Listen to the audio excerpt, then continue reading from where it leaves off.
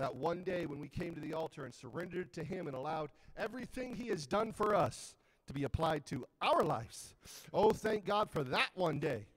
Well, I haven't had that one day. Well, today is a day, and it can be a one day for you, for whoever needs it. It's such a blessing to be in God's presence. I mean, that, you, you've already said that.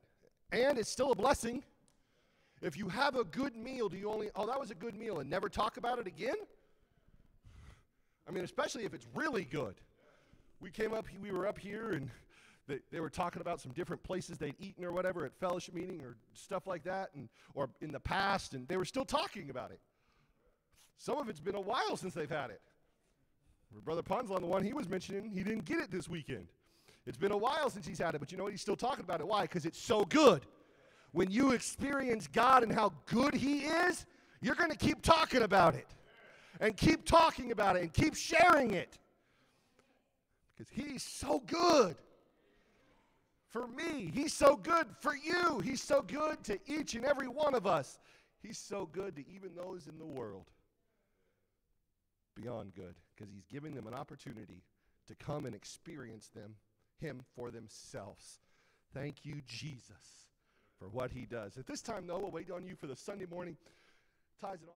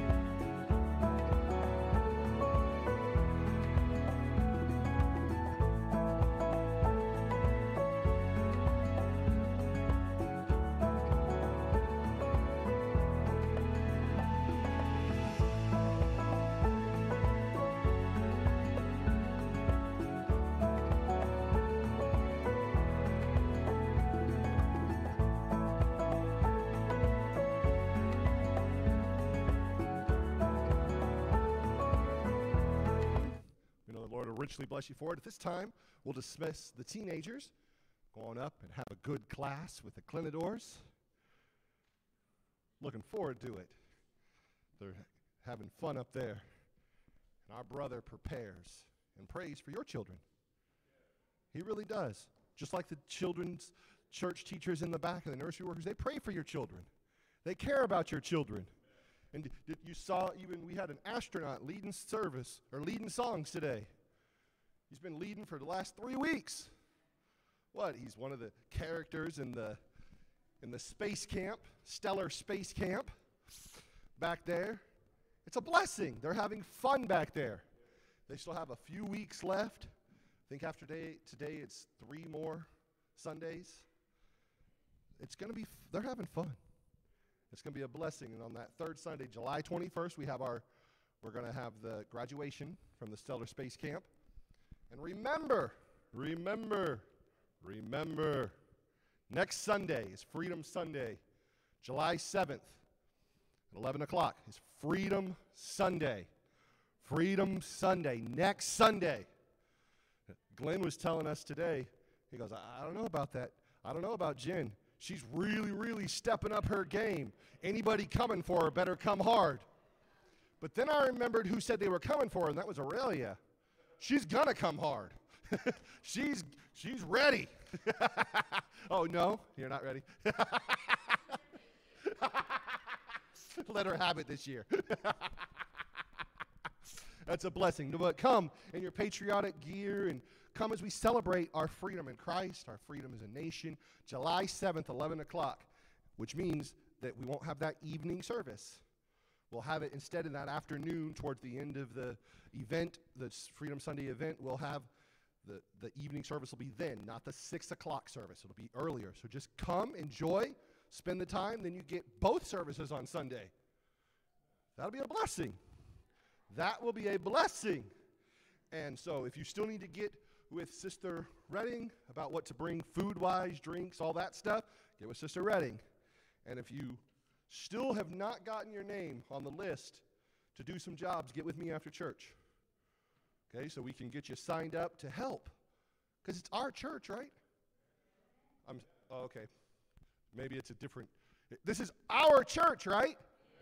There it is. Yes, our church. So we work together to make it a success. The events are always a blessing, but they're made a blessing, yes, of course, by God, but by your participation in helping. It really is made a blessing by your helping. Because if everybody does a little, no one has to do a lot. Because there's a lot that goes into it, but everybody that does a little helps, so no one has to do a lot. So get with me if you need some f- for something to do, Sister Redding, on what to bring. But at this time, we've got service today. And Pastor Tieman's going to come and share what God's laid on his heart. We look forward to what God has for us. Pastor? Praise God. So, what is a Freedom Sunday? Well, like you said, we're gathering together, and we are. That the new one or the old one? All right, gathering together uh, to worship the Lord, of course, at our 11 o'clock service. But then we do barbecue. Folks bring food. We have a big uh, time of eating and fellowshipping one with another. There'll be games, activity, events. It's just a good time to be together and uh, celebrate this freedom that we possess, not only in our Lord, but also in this great nation upon which we live. So you don't want to miss it because there's going to be pictures up afterwards. You're like, oh, I should have come. That looks so fun. Too late. Got to wait a year. So come on out next weekend. Praise the Lord. And we'll have a good time in the Lord together. I want to turn your attention, though, this morning to Nehemiah, Nehemiah chapter 2. Nehemiah chapter 2. I'm going to begin reading there in verse 11. Nehemiah 2 and 11. Good to have each of you here in the house of the Lord this morning. So I came to Jerusalem and was there three days. And I arose in the night, I and some few men with me. Neither told I any man what my God had put in my heart to do at Jerusalem. Neither was there any beast with me, save the beast that I rode upon. And I went out by night by the gate of the valley, even before the dragon well, into the dung port, and viewed the walls of Jerusalem, which were broken down, and the gates thereof were consumed with fire. Then I went on to the gate of the fountain, and to the king's pool, but there was no place for the beast that was under me to pass. Then I went up in the night by the brook, and viewed the wall, and turned back, and entered by the gate of the valley, and so returned. And the rulers knew not whither I went, or what I did. Neither had I as yet told it to the Jews, nor to the priests, nor to the nobles, nor to the rulers, nor to the rest that did their work. Then said I unto them, Ye see the distress that we are in, how Jerusalem lieth waste, and the gates thereof are burned with fire. Come and let us build up the wall of Jerusalem, that we be no more a reproach. And then I told them of the hand of my God, which was good upon me, as also the king's words that he had spoken unto me. And they said, Let us rise up and build. And so they strengthened their hands for this good work. But when Sanballat the Horite and Tobiah the servant the Ammonite and Geshem the Arabian heard it, they laughed us to scorn and despised us and said, What is this thing that ye do? Will, will ye rebel against the king? And then answered I them and said unto them, The God of heaven, he will prosper us. Therefore we his servants will arise and build. But ye have no portion, nor right, nor memorial in Jerusalem. And I want to turn your attention back to two different verses. I'm going to use them for my text this morning. Verse 13 And I went out by night by the gate of the valley, even before the dragon well, and to the dung port, and viewed the walls of Jerusalem, which were broken down, and the gates thereof were consumed with fire. And skipping up to verse 17. Then said I unto them, Ye see the distress that we are in how Jerusalem lieth waste, and the gates thereof are burned with fire. Come and let us build up the wall of Jerusalem, that we be no more a reproach. And with help of the Lord for a little while this morning, I want to preach, and we're just going to use one part of this this morning about steps to rebuilding the walls. Steps to rebuilding the walls that's in our life. But I want to look this morning specifically at removing the rubbish removing the rubbish. Pastor Dave, sir, will you please pray?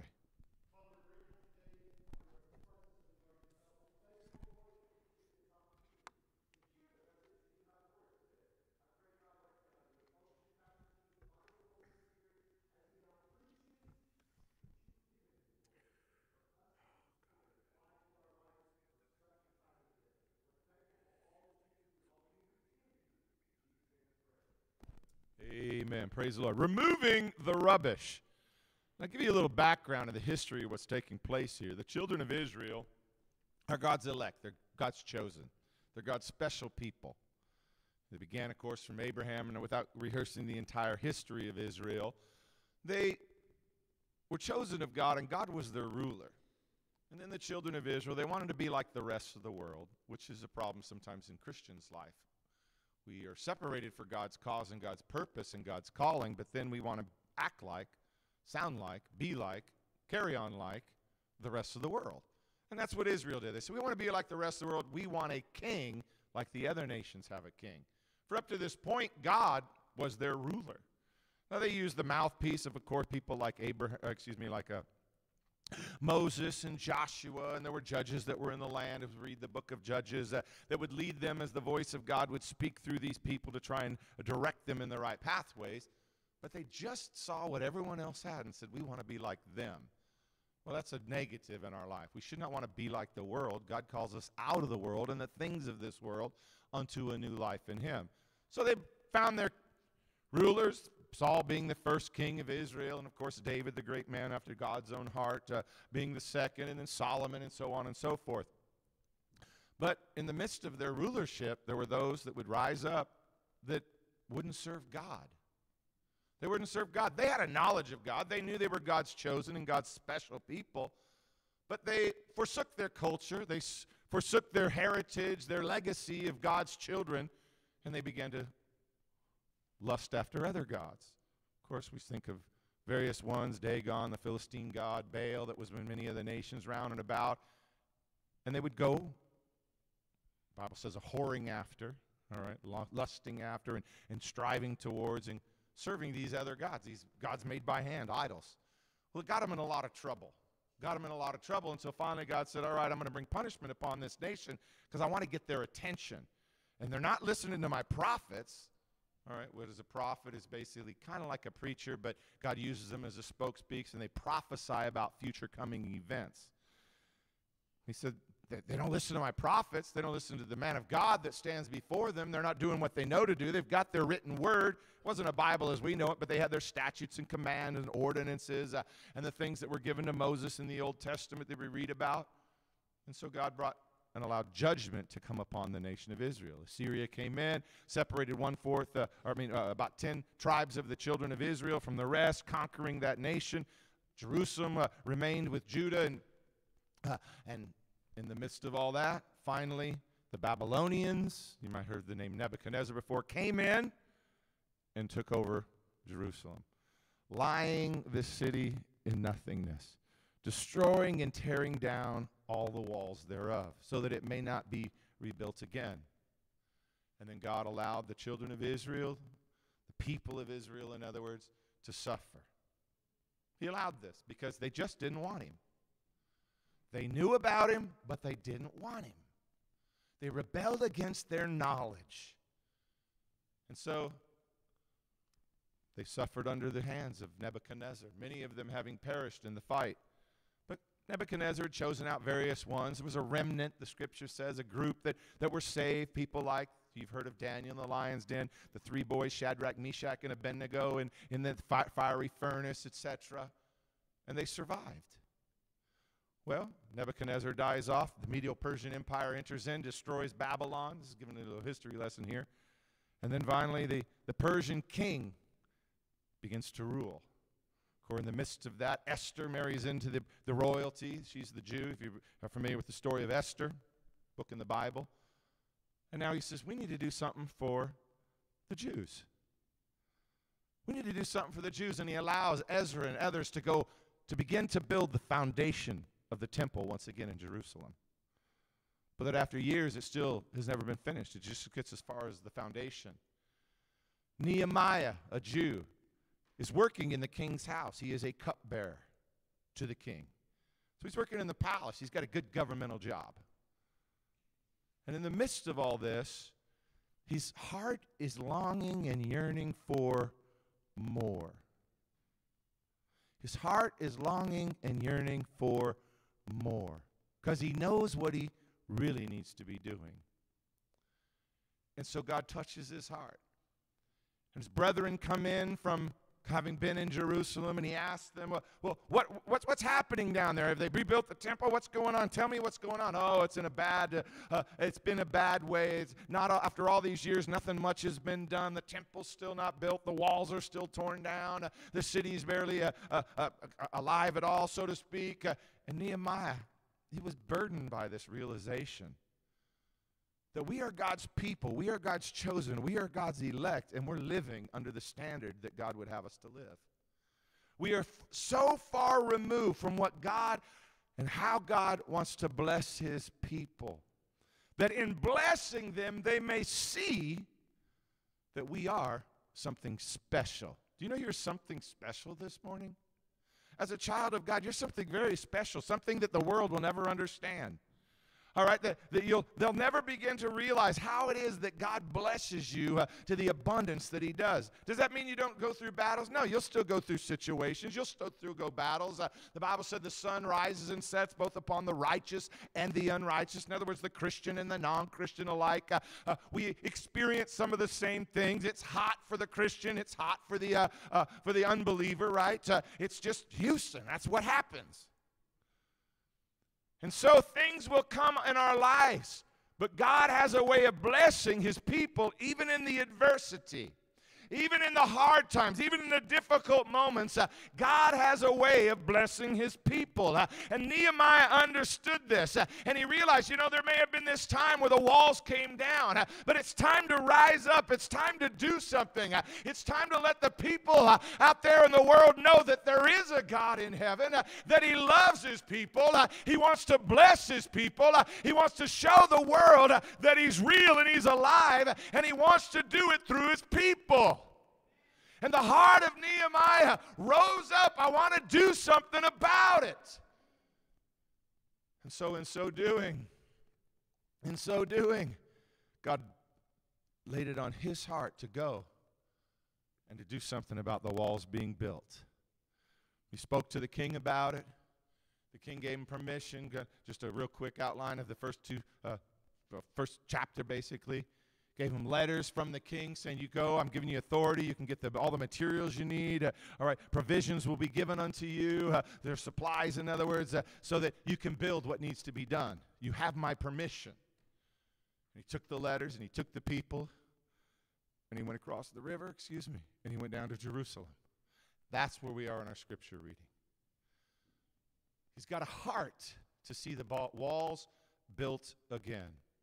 Because as long as the walls are down, the enemy can come in. As long as the walls are down, uh, uh, for these were like citadels, basically. All these, these, uh, many of these big cities, uh, uh, the walls were built about them. Even prior to the Israelites coming into the Promised Land or into Israel, uh, there were basically like nations. Each city kind of like a nation. And Jerusalem was a city without any walls. It was defenseless. And so Nehemiah realized the first step in getting everything the way that it needs to be is to build the walls again. So he got the vision for something more. He got the vision for something better.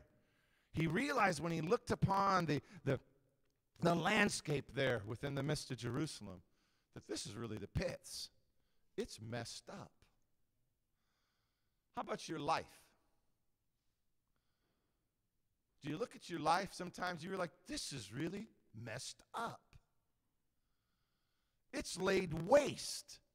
At one time, you might look at it and say, you know, everything was going so good. Everything was great. Maybe as we were talking, some of us uh, right before service, Betty and Glenn and uh, Jenny, and I remember who else, maybe we were talking about drinking out of the hoses as kids. Uh, it, it, wasn't so hot as it seems like it is now. Uh, just, we, we, didn't care. We'd stay out eight hours, I think Glenn was saying, and it wouldn't seem like it was hot, and we'd have a great time. and we look back and we think, man, those days of our youth, they were so wonderful. They were so awesome. Uh, before everything seemingly like the, uh, the, the Nebuchadnezzar and the armies of Babylon came in and destroyed the walls of our life. we look at it, we can remember back to those times where it seemed like everything was going so smooth, uh, and then things happened. What happened? The enemy came in. Uh, the enemy that the Bible said, as a thief, uh, cometh not before to steal, uh, to kill, uh, and to destroy. You see, because that doesn't come from God, that comes uh, not from heaven. For the Bible said, all good things come from God. That comes from the devil. That comes from the enemy of the soul. That comes from the one that wants you to die and go to hell. And he entered in and he tore down all those walls walls of preservation in your life.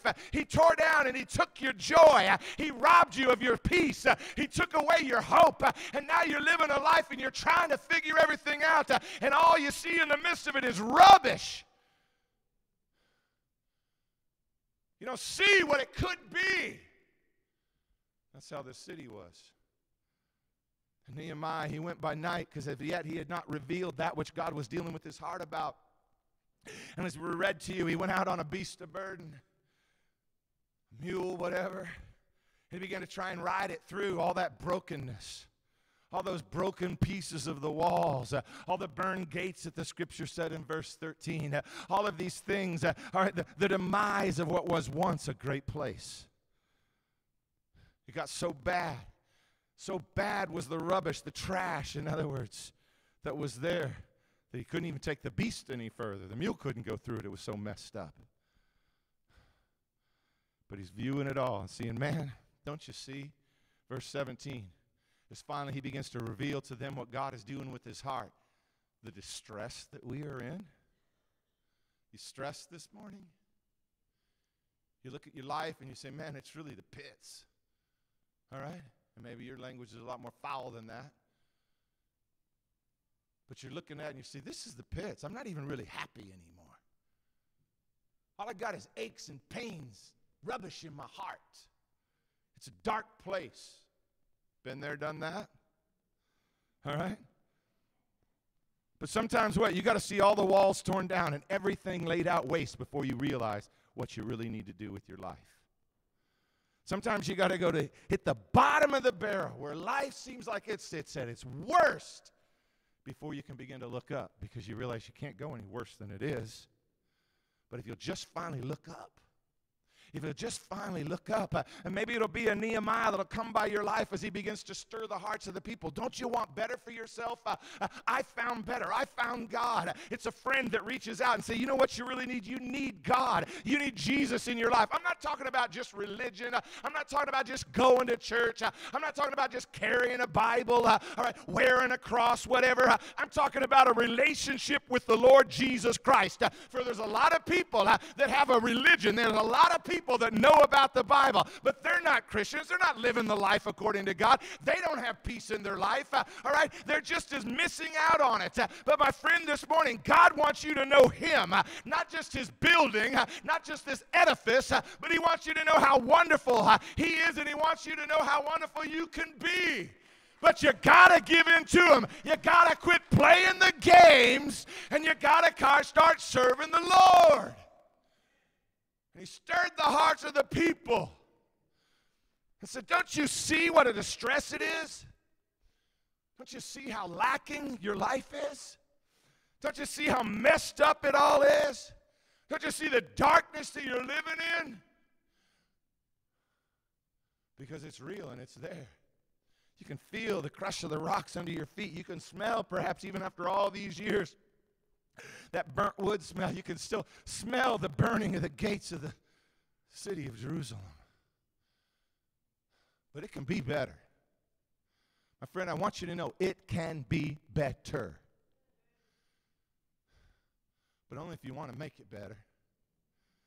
Only if you want to make it better. God's not going to make anybody do anything. God's not going to make you do anything. He's going to tell you there's a better way. He's going to tell you there's a better life. He's going to tell you there, there, there's walls that can be built, ways that you can be your protection, that you can find that hope, that peace, that joy, and live within that city. And that by those walls, you can, like the armor of God, you can put on and protect yourself from the lies of the enemy, but only if you want to. Nehemiah had the burden. Nehemiah, Nehemiah wanted it, uh, but he had to get those around him to help him get what was needed. And so he begins to pour out his vision.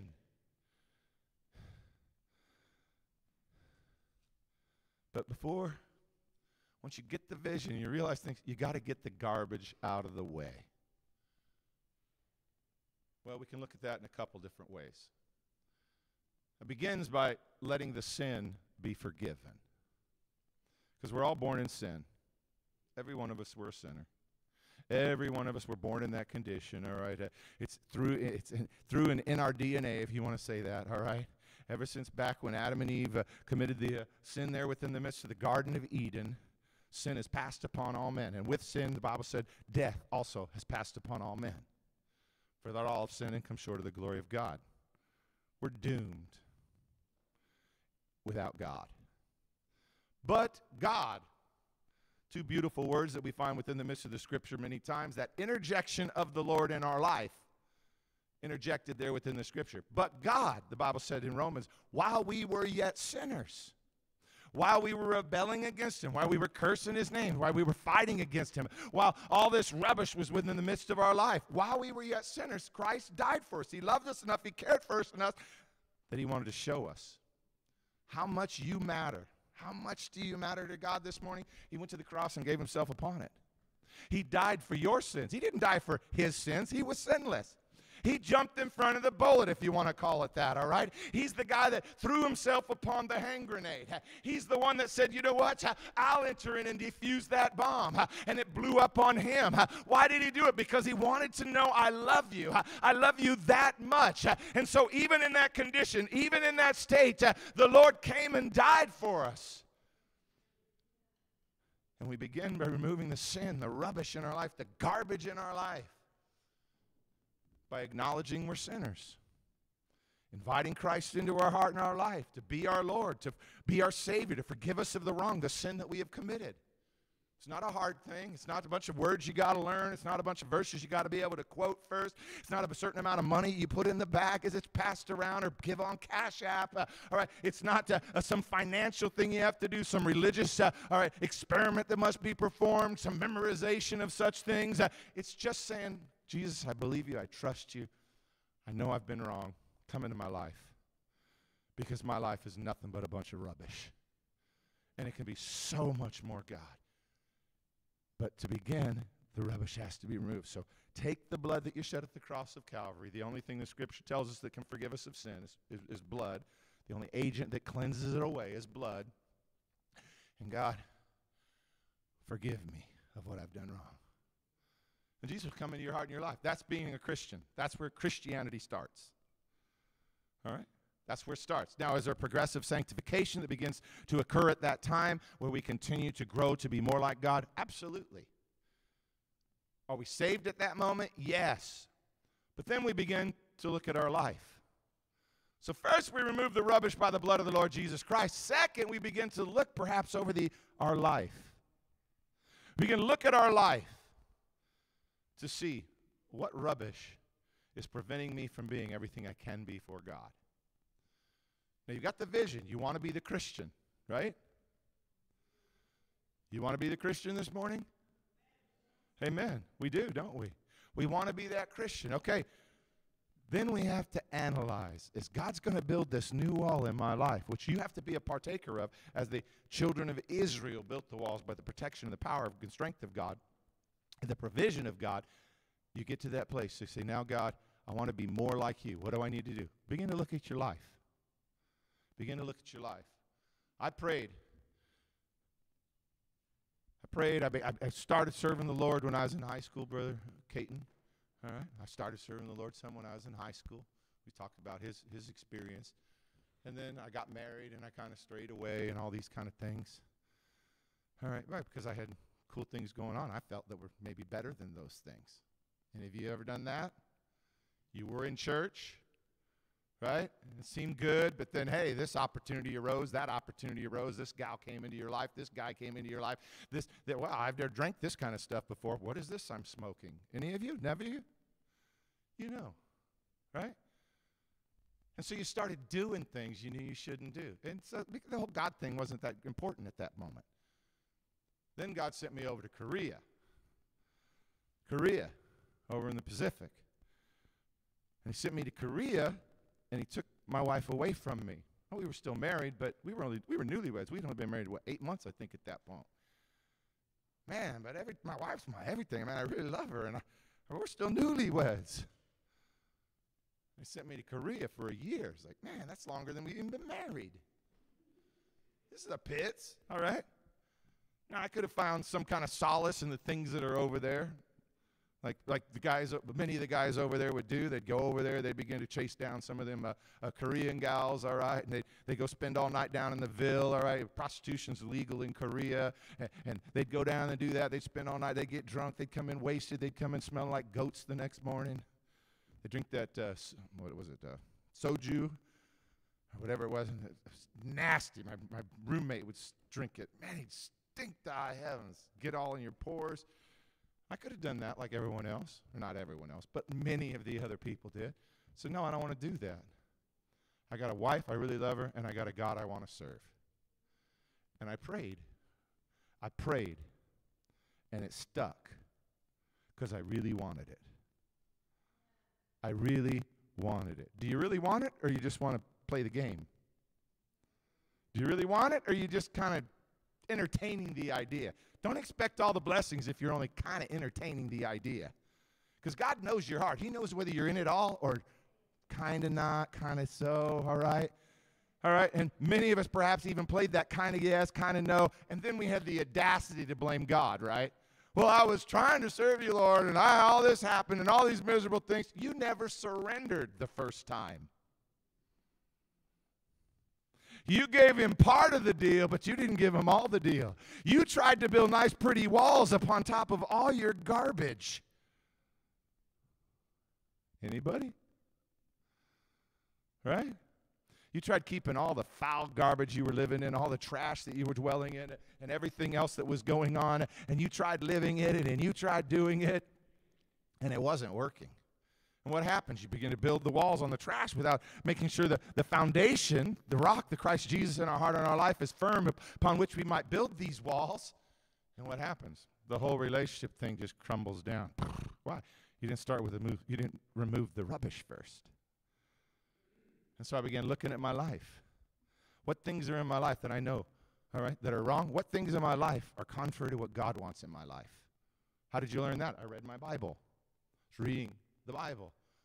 All right, good place to read is the book of John as you're a new Christian. Begin to read those epistles, those uh, typically five, six chapters each. Uh, they're within the New Testament, letters from Paul, and you're learning. And, and he's talking about a commitment. He's talking about dedication. He's talking about sanctification. He's talking about living right. He's talking about and calling out these things that are sinful, these things you should not be or do anymore, right? All the rubbish that was there in our life. Uh, and I'm looking at all these things and I'm reading these things. I'm laying in my bed in my barracks room uh, uh, in, in, the military and even on my job because I could do that at night uh, and, just reading my Bible and reading the Bible. And it's like, man, you're not supposed to do this. You're supposed to do this. Man, look at all this kind of stuff. Man, I really need to be dedicated. I, I need to give my life, com- I want to completely be what God wants me to be. You there? Is that where you're at in your life? Wholly and completely surrendered. I just want what He wants. Then I went home on mid tour leave. You got a year you got to spend over there, and they let me go home. I think at five months or somewhere along there. And I went home. I got to see my wife. Told her what all I'd been writing her every day, anyways, about man, God, and I want to be a preacher. God's called me to be a preacher. Blah blah blah. All right, speed it up. And then she prayed for salvation that night.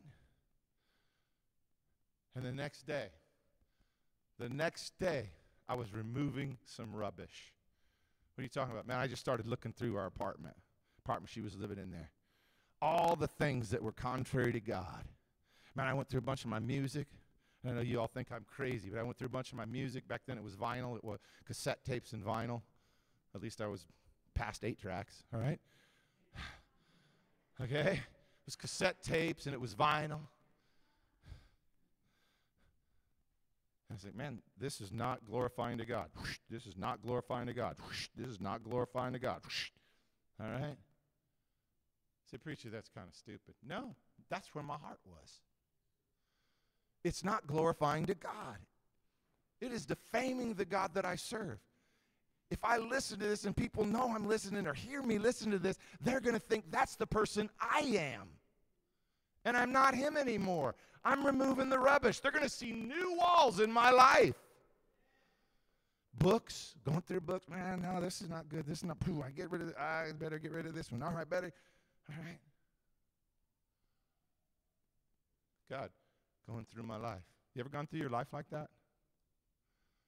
Just start looking at everything. That's what David said in the scripture. All right. That's what, that's what Paul spoke of. Examine yourself. Examine yourself. Look at it. Look at yourself. Do a self examination and see these things are not glorifying to God. They are destroying my building of what I want my life to be. So I need to remove them. I need to remove them. I need to ask God's forgiveness for them, but also I need to remove them. And you grow. Everything doesn't change the moment you get you get saved. Yes, that part changes, but you got to begin the work. You got to begin the work. You got to do the labor. You, they had to go forth in the midst of the city. They had to take their beast of burden. They had to take with their own hands and, and remove the rocks and the, and, and the burnt uh, pieces of wood and all that was preventing them from being all that it could be. Their heart was in the right place, but they needed to clean house, as the saying goes. Get the garbage out of the way. And that's what they began to do in their life. And I don't know. I don't know what's in your life. I'm not picking on anybody, all right? But they looked and they knew. They knew. And a lot of times, if we're just honest with ourselves, we know the answer even before we ask it. True? Are there sometimes questions we ask and we really already know the answer? We already know. My grandkids do that to me sometimes. Poppy, I'm like, you know the answer. You already know the answer. Why are you asking the question? We know. Why? Because God's already dealing with our heart. We have to learn to respond to what the hearts of God is speaking to our heart about. We pray. We ask God, God, show me because I want the better way. Well, I don't know if these are all the things I want to get rid of. I don't, I don't know if these things. Hey, God's saying, I have so much better for you. So much better more than you could ever even imagine. But it's hard for me to give them to you if you're, if, if you're if you're content with the trash and the rubbish that you're living in your life. I want good for you. I want great for you. I want exceeding abundance for you. But as long as you keep the trash in the way, I can't build those things I'm trying to build in your life. How about it in our heart, in our life this morning, as we bow our heads and close our eyes in reverence to the Lord? Building, rebuilding the walls. Rebuilding the walls. They wrote about, they walked about, they looked about, and they said, Man, I see all this distress, all these problems, all these situations that are presented here by all these torn down bricks and stones and the burned wood from the days gone by.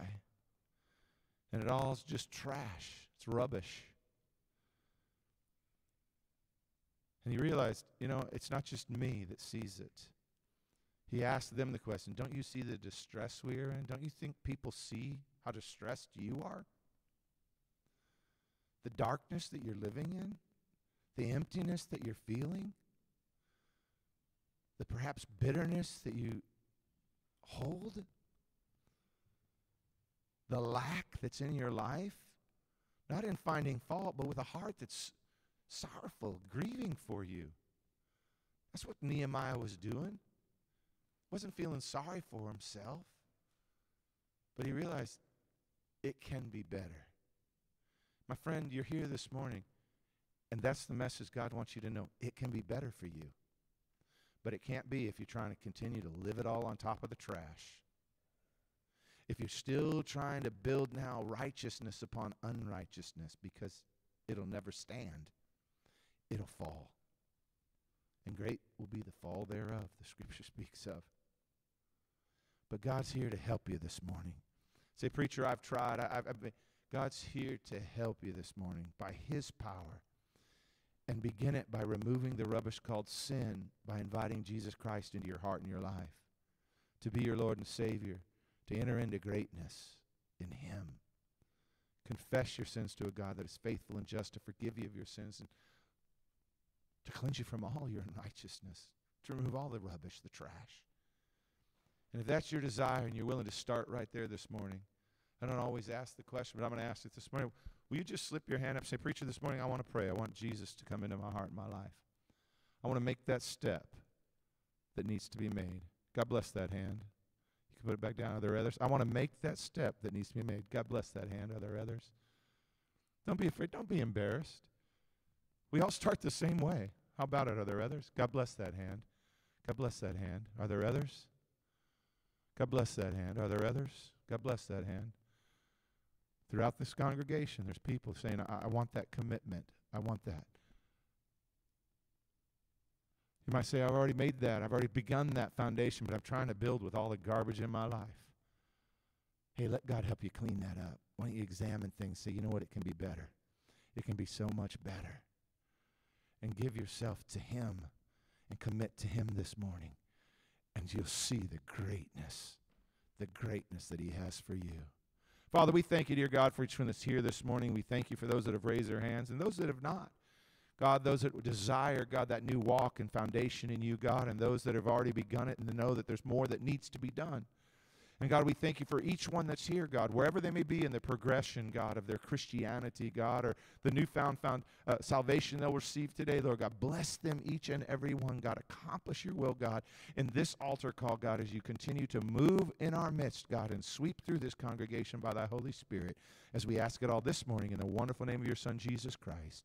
Amen. If you raise your hand, I encourage you, come on up to the front this morning.